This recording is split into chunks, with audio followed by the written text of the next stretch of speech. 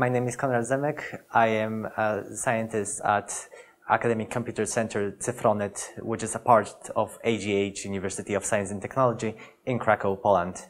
The main aim, the main goal of us coming here is to integrate with other projects and to showcase our project so that others can see what benefits we can bring to them. I, I would like to say that we want to we want data to be available to you anytime, any place.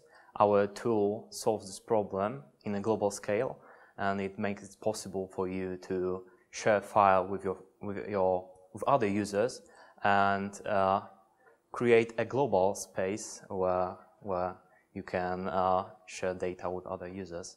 So the, the main message I would like to pass is uh, that uh, everything is possible and we are trying to make our tool as good as, as possible so that it uh, facilitates all the uh, requirements that the user has. So uh, our tool solves the problem of data sharing.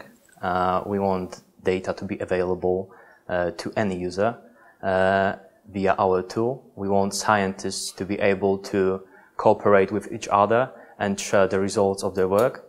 And it's all possible via Onedata.